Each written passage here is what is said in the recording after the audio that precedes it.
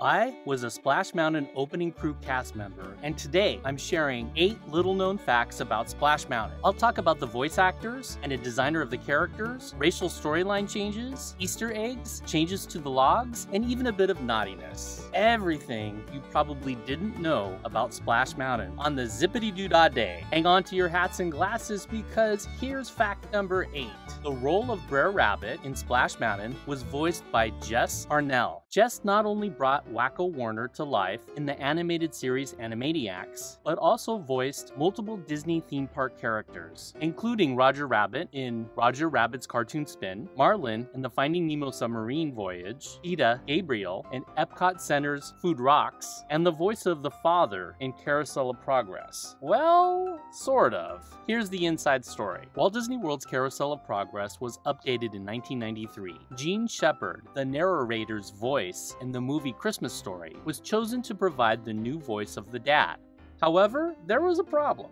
Jean Shepherd could not sing. So Jean only provided the voice for the dialogue, and Jess Harnell, the voice of Splash Mountain's Brer Rabbit, provided the singing voice. Everybody's got a Laughing Place, and that includes Brer Bear. Fact number seven Nick Stewart, the actor who voiced Brer Bear in the original 1946 film Song of the South, which inspired Splash Mountain, returned to the role over 40 years later for the Disneyland attraction. After a long acting career ranging from vaudeville to movies to Splash Mountain, the voice for the audio animatronic Brer Bear was Nick's final splash in acting. Voice actor Nick Stewart was not the only person whose talents were featured in both the 1946 film Song of the South and the 1989 attraction Splash Mountain. Fact number six Mark Davis was an animator on Song of the South, and he also designed audio animatronic animals featured in the attraction America Sings. America Sings may have closed down in 1988, but many of Mark Davis's animatronic figures were repurposed and moved to Splash Mountain. Virtually all of the figures in Splash Mountain, other than the leads, Brer Bear, Brer Fox, and Brer Rabbit, started their theme park careers in America Sings, thanks to Mark Davis. Time to be moving along to fact number five. Song of the South has been controversial ever since the NAACP ticketed the film and released a statement in 1947 condemning the film. After the movie was re released in 1986, Disney made the decision to never distribute Song of the South again in the United States, just around the same time that Splash Mountain was being designed. So Walt Disney Imagineering had to adapt the storyline in order for it to be appropriate for an American theme park. In the original movie, Brer Fox used a tar baby to trick Brer Rabbit into getting stuck in the tar. Tar baby can be a derogatory term for African Americans. That was not the type of splash Disney wanted to make with their new flume ride. So instead of Brer Rabbit getting stuck in the tar, in the log ride, Brer Rabbit gets stuck in a honeycomb instead. This is one time when honey helped Disney to avoid a sticky situation.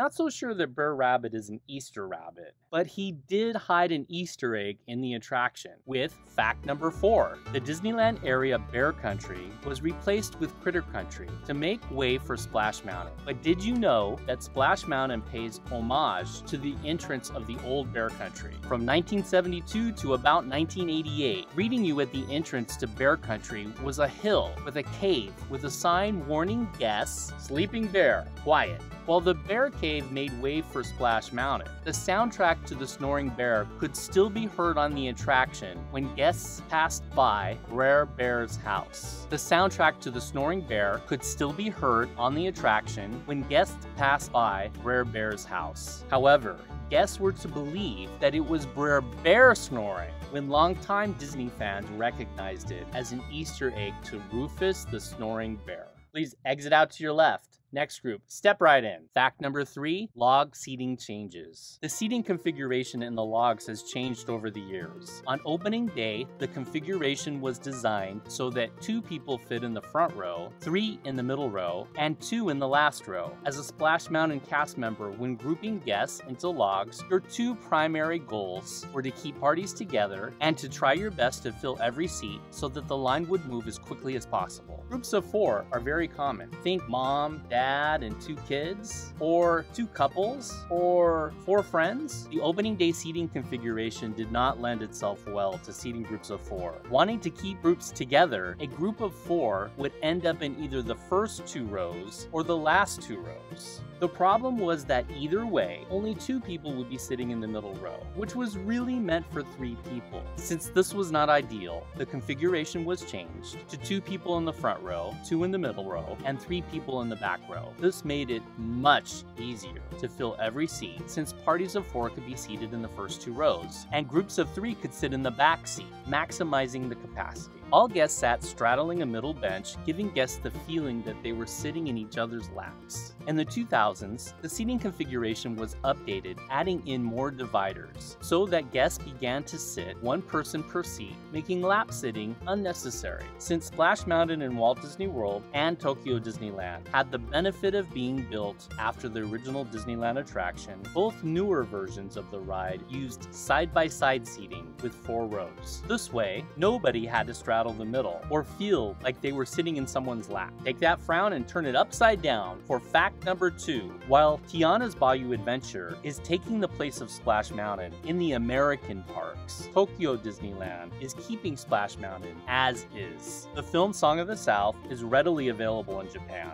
and Japanese people are less likely to be aware of the controversies surrounding the film Splash Mountain is based on. You can't run away from trouble. There ain't no place that far And here is a bit of trouble with fact number one Flash Mountain. In the 1990s, a camera was mounted in the attraction to take photographs of guests during the big drop that could be purchased after the ride. Brer Rabbit can be mischievous, and sometimes so can the guests. Every now and then, a woman would lift her top for the camera while going down the big drop. So the log ride was jokingly nicknamed Flash Mountain. But parents, nothing to worry about. To keep the photos kid-friendly, a cast member was dedicated to reviewing each picture before guests could see them. Well, here they are, 8 truths about Splash Mountain. They're factual, I hope you found this video satisfactual. Brer Rabbit used reverse psychology on Brer Fox. So let me try it out on you. Whatever you do, please don't click the subscribe and bell notification. The fun doesn't end here. I made an even better video about the fascinating histories of Splash Mountain, Song of the South, and Critter Country. Click here for a lightning lane, straight to the video.